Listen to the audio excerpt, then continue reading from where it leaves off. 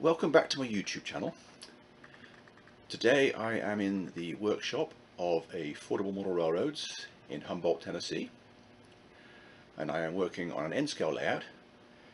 You may recognize it when you see it because part of it is the same layout that I designed and posted on this channel a few months ago.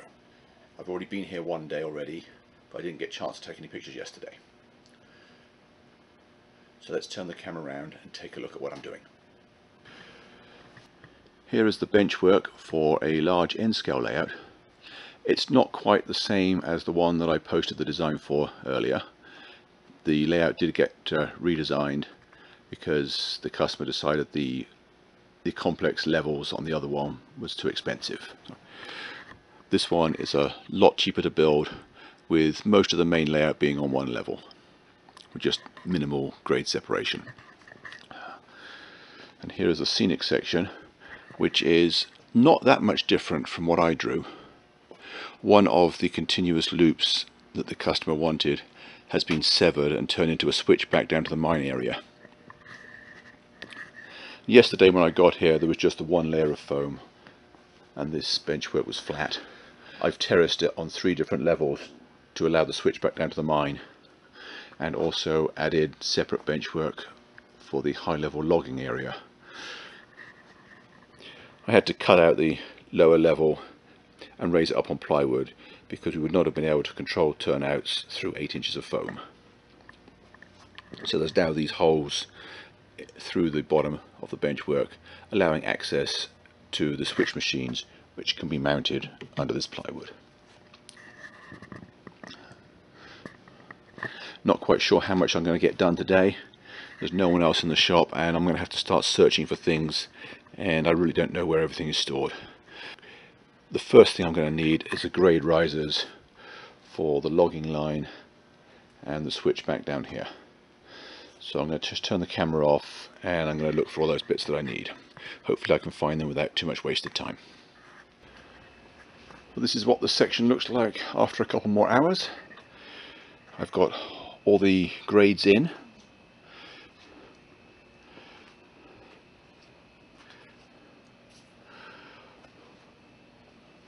Next thing I have to do is start laying the roadbed. I'm not sure if this is enough here. I just grabbed a handful and I'll see how far it goes. Well, two more hours have passed and I have all the roadbed glued down. I have to excuse the noise. This workshop is hotter than hell and I had to turn the AC on. I was sweltering in the heat.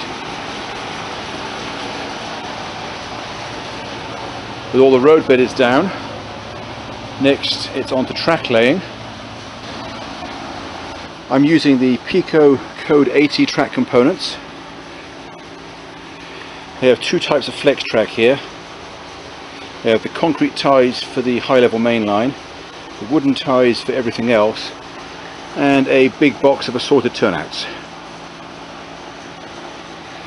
Ironically this rail in N scale is larger than what I normally use for my own layout in HO but that's what the customer specified. So I'm going to get back to work and I'll check in with you again later.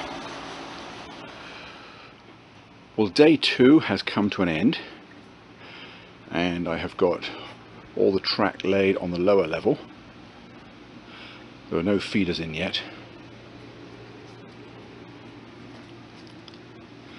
And it stops here where the pliers are. I've got to find the soldering iron so that I can do that joint while it's still on the straight and then curve it.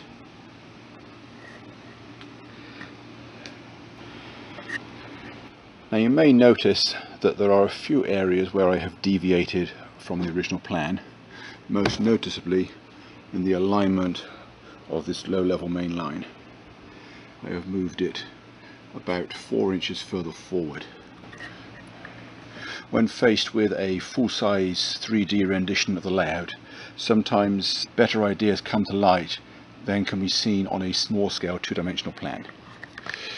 And here, with the different elevations, it made more sense to move this track a lot closer to this, the mine switchbacks, giving me more room for the slope behind it to get up to the high level.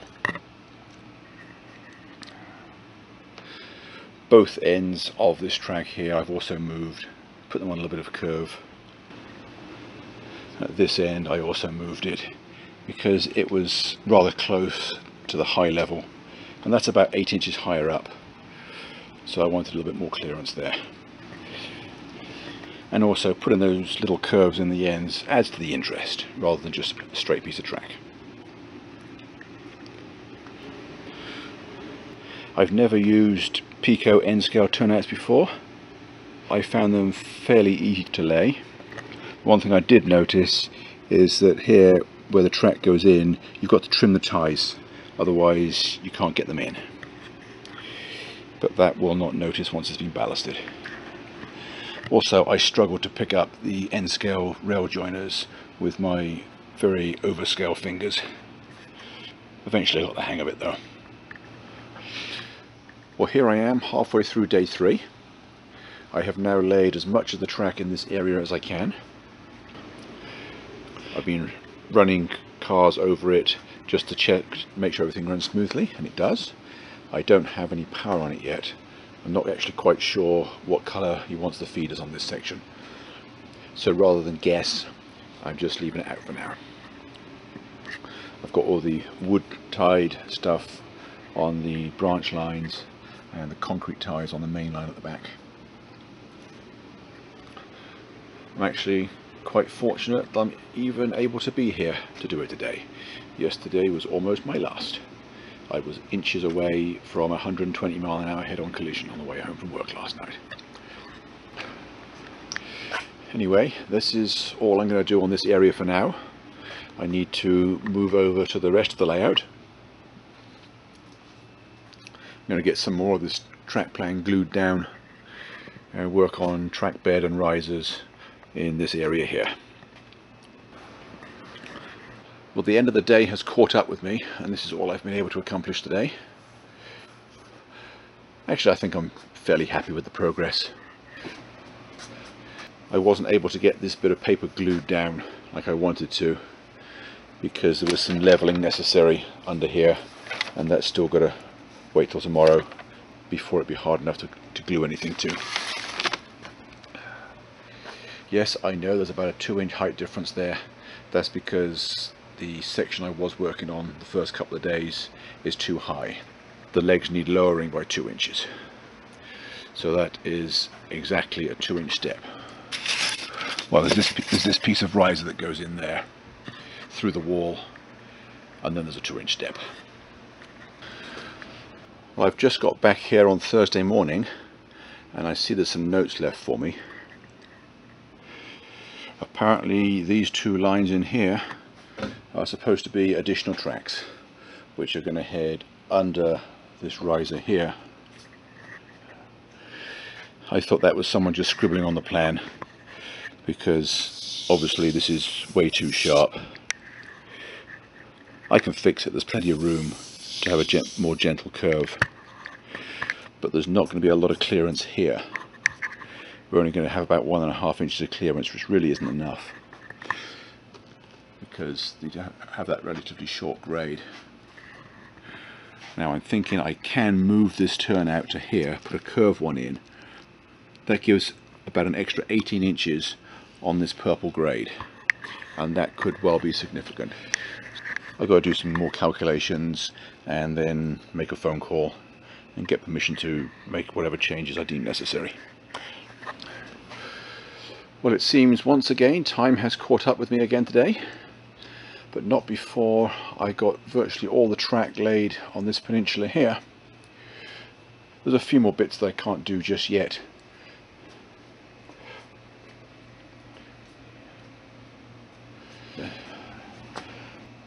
I've got the track print for the main line glued down the front.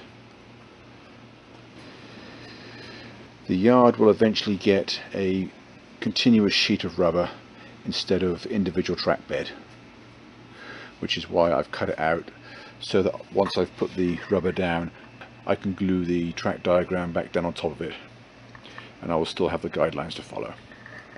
But that will be a task for tomorrow. So I'm going to sign off now and go home.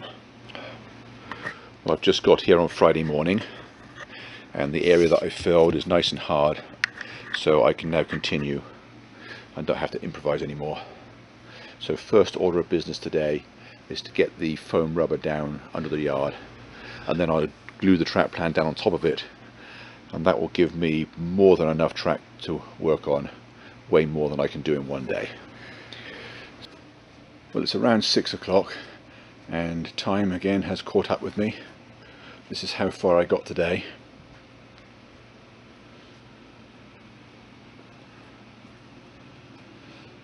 As you can see all the road bed is in right up to the end.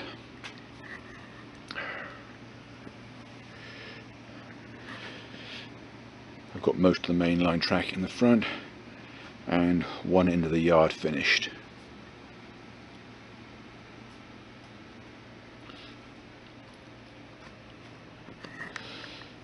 so Monday I will work on the other half of the yard. Until then bye for now